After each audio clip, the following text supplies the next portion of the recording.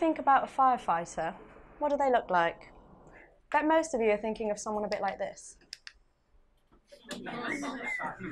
well, those of you with experience might be thinking of someone more like this. but I doubt very much you'd be thinking of someone who looks like me. I became a firefighter when I was 18 here in Cardiff, and now with 17 years of operational service, I'm a Deputy Assistant Commissioner in London Fire Brigade. Now, I might not look like a traditional firefighter, and to be honest, I've had to push back against those stereotypes for my entire career. But in a way, the freedom to be different, and I mean really different, has been incredibly empowering. Because when you're free to be different, you're free to define new boundaries, define your own boundaries. And I drew these boundaries around keeping firefighters safe. Now I want you to humour me a minute. I want you to close your eyes. Don't worry, I'm not going to make you hold hands or sing Kumbaya. Trust me. Just close your eyes and think about your home. Now imagine coming home after a long day. Imagine the faces of the people you love greeting you at the door. Now step inside into your home. Look at the pictures on the wall. Everywhere you look, there's memories. The spot where the kids took their first steps, the spot where Granny sat on her 88th birthday bash, the spot where the old dog sits on the sofa when he used to be a little puppy. But it's not just a house or a flat or a room, it's your home. Okay, you can open your eyes now. This, this is my home, or at least it's what my little girl think home looks like, and it's packed with stuff. Toys, books, trinkets that I'm too sentimental to throw away. When you put all those things together, along with the memories attached to them, then it becomes your home. I've seen hundreds of versions of this throughout my career. One minute it's there, your home, your memories, your life. The next minute, it's all gone. All gone like that. Now I want you to picture yourself standing on the side of the road in the middle of the night, watching in disbelief as those flames rip through that home that you've just been picturing, through everything you have and love. Imagine someone you love stood next to you as you're both wrapped up in blankets as that acrid smoke swirls around you. Imagine their faces. Now imagine the damp collar of your pyjama shirt as it sticks to your neck as the tears roll down your face. The pavement's cold against your bare feet, but still, at least you got out. Some people aren't so lucky. In fact, more than 9,000 people a year are trapped inside fires. That's the equivalent to the population of St. Ives. Now I want you to imagine you're here. This is what you see. It's burning hot. You try and breathe, but you choke on the thick black smoke. You try and shout for help, but you cough and splutter. The taste of that acrid smoke sticks to the back of your teeth. It's roaring flames, they're deafening, but you just make out the sound of someone you love outside the house as they're screaming your name, desperate to reach you, desperate for some sign that you're alive. And you know what they're thinking, because to be honest, it's what you're thinking too. What if we've seen our last birthday together? What if we last, laughed our last laugh together? What if our last memory together has already been made? In one word, how do you think you'd feel right now? Terrified? Hopeless? Lost? Perhaps firefighters are on their way to you. In fact, around 700,000 times every year, people in the UK ask firefighters to help them. They ask to be rescued, to be reunited with their loved ones, the person trapped inside that burning building, or in the crumpled up car, or drowning in a lake. They ask to be helped. So, we rely on our firefighters to go into situations that are fraught with danger, that are dangerous enough to kill. And that's a big responsibility. And it's commanders like me who are in a privileged position to be trusted by firefighters to pull it all together, to know what to do, to make sure the right people are in the right place at the right time to save a life. Now, of the people trapped in fires last year, there were exactly 9,216. Uh, of those people, we rescued exactly 8,890 of them. And one thing that all firefighters have in common, regardless of shape or size, is for those people we rescued, we were the last thing standing between a dying breath and another day. We came to symbolise hope, relief, and a way out. And we're always aware of the inherent risks of our job. We know that it's dangerous. We know that sometimes it won't only be your lives at risk, but ours too. So, what drives us to run in when you're running out? Well, we've seen people who are loved, who are echoes of ourselves, lose everything. We've seen the fear and grief, and loss in their eyes in real time. And that's what pushes us through the heat and smoke and darkness. And we can't always promise a way out, but where there is one, we promise we'll do everything we can to help you find it, even when keeping that promise comes at a price, even when it means risking our own safety. Because firefighters want to protect you, that's their job. I want to protect firefighters so they can protect you. That's my job. Now, years of experience and a few close calls have taught me we're not invincible. We have the same fears and flaws as the people we rescue, the same human instinct that drives us to push through the most unforgiving of circumstances, and the same human limitations. And you know what? Sometimes we get hurt. Last year, 2,516 firefighters were injured during the course of their duty in England alone. That's enough firefighters to fill 32 double decker buses, and 130 of them suffered major injuries. First time I saw a colleague injured was at one particular fire, etched in my memory nearly 15 years ago. That incident would go on to drive a hugely significant piece of research aimed at driving firefighter safety. This is my husband, Mike, and our daughter, Gabriella. Now, before we were married, we were both firefighters together on neighbouring stations. One day I was part of a crew that was called to an incident where a firefighter had been severely burned. That incident only involved one fire engine and I knew Mike was on it. There was a one in four chance it was him. I can remember walking into the appliance bay as I heard the bells ring and a couple of the guys were already at the teleprinter and they were all kind of huddled around this slip of paper. And I could just tell by their faces that something wasn't right. They told me what it was as I pulled on my boots and yanked the braces up over my shoulders. And as I reached for my jacket and put my arm into the sleeve, I could hear the murmur of voices, but I, I couldn't decipher the words. I felt completely detached, like you're in a film and the camera pans all around you. I can remember thinking to myself, I might be about to become one of those people we see every day who wake up to cornflakes and normality only for their entire world to be ripped apart. The journey there was the longest four and a half minutes of my life. All I could think about was Mike. Is it him? Was he hurt? Was he afraid? It was literally all I could think about. I was torn between the role of a loved one and the role of a responder. Anyway, we pulled up and I jumped off the truck. And I could see this pair of legs sticking out from a huddle of firefighters with kind of dirty patches on the knees. And all I could hear was someone groaning like they were in pain.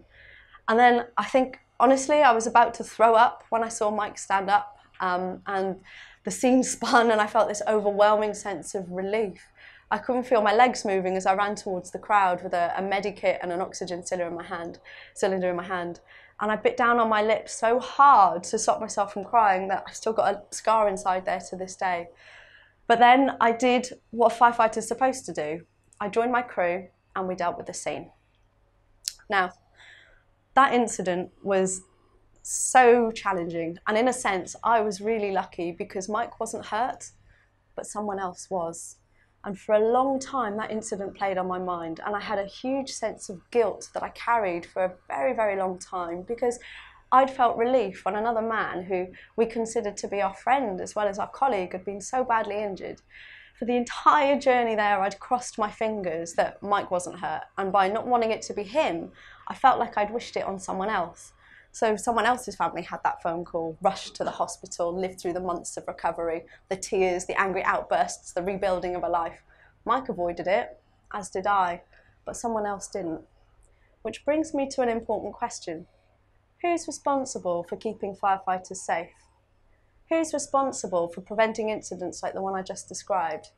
Whose job is it to prioritise firefighter safety so they can prioritize yours. Interestingly, 80% of firefighter injuries are caused by human error. Though that's the equivalent to 25 of those double decker buses. Those injuries, 80% of them, think about it, 80% of them are caused not by a failure of a piece of equipment or by an inadequate policy or a flawed procedure, but by a human mistake. Those injuries so many of them caused by a failure to process information properly or a misjudged decision, the wrong choice in the wrong place at the wrong time, and real people were getting hurt as a result. That was incredible. Now, don't get me wrong, human error is not necessarily a reflection on an individual's ability, Sometimes it reflects the circumstances or just the fundamental limitations of being human. But what causes human error in the fire service? What affects our ability to make effective decisions when we're working in high pressured, highly stressful situations? And how do we improve our chances of doing exactly that? Well, the key word here is human. You have to understand the boundaries of being human in order to push the boundaries of being human. Now, I started exploring this and it became painfully obvious that there'd been very little work done with fire. We were woefully behind other high risk industries like medicine and aviation who'd been working to reduce human error for decades. And I knew this was important and I wasn't going to just sit on the sidelines waiting for someone else to fix things. So I decided to plough my own furrow. But this wasn't straightforward. When I was 15, I was homeless. I did my GCSEs, my final exams while I was sleeping rough, and I solved the big issue for about another two years, earning just enough for something to eat each day. So continuing with my education wasn't a luxury that I could afford. Then I joined the fire service when I was 18. So by the time the time came when I wanted to make a meaningful contribution, I didn't have the right qualifications to make a difference, or at least not at first. So I sucked it up, I put one foot in front of the other, and I got on with it. I started off by doing a psychology degree with the Open University. I specialised in behavioural neuroscience, eventually completing a PhD at Cardiff University, all part time, or while I was still serving full time. Now, that was hard work. It was very hard work, especially because I had a newborn baby somewhere along the way. But I was just determined to bridge that gap between the academic and the practical. So I wanted to look at the, the I wanted to look at what cues our decisions and the circumstances that affect them.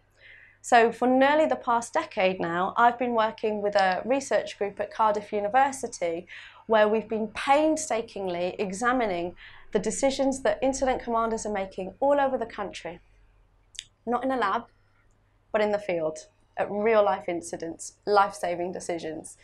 Now, we've worked in the field, we've pulled people's brains apart using virtual reality, we've replicated it all on a training ground, and even burned down some old buildings in the name of science. I've broken a few things along the way. But we've pulled apart people's decisions and pieced them back together again, only better. And what we now know is this most of the decisions that people make at incidents are intuitive decisions, not reflective, analytical decisions, as was previously thought. Now, these are distinct, separate processes that happen in distinct and separate parts of the brain. But interestingly, these decisions, the analytical decisions, only happen 20% of the time. However, until we did this work, our policies only acknowledged those analytical decisions.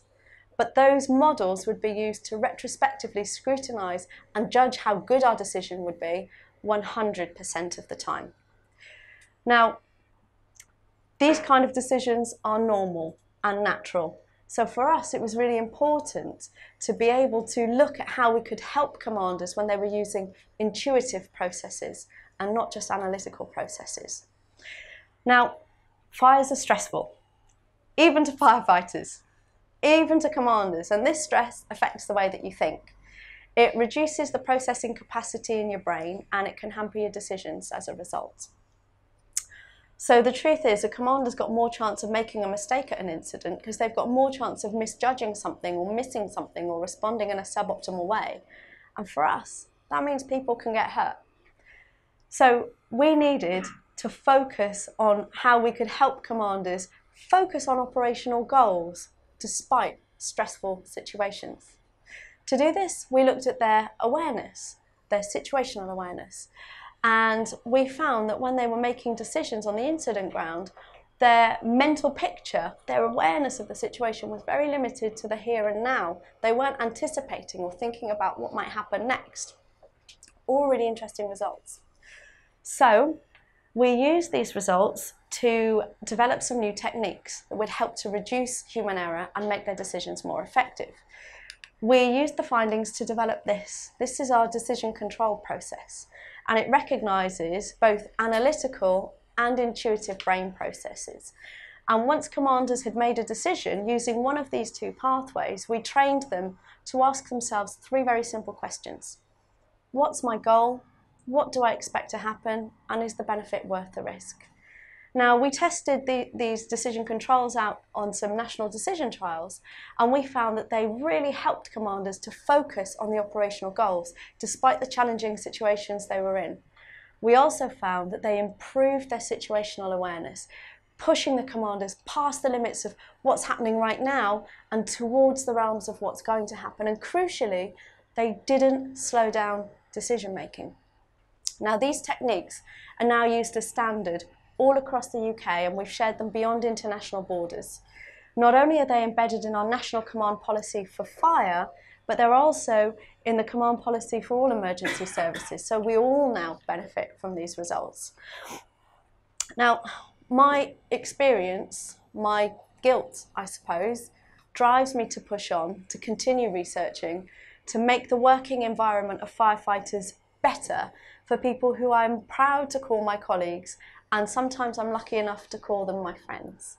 So, although I've not had a traditional journey, I've certainly had the freedom to be different.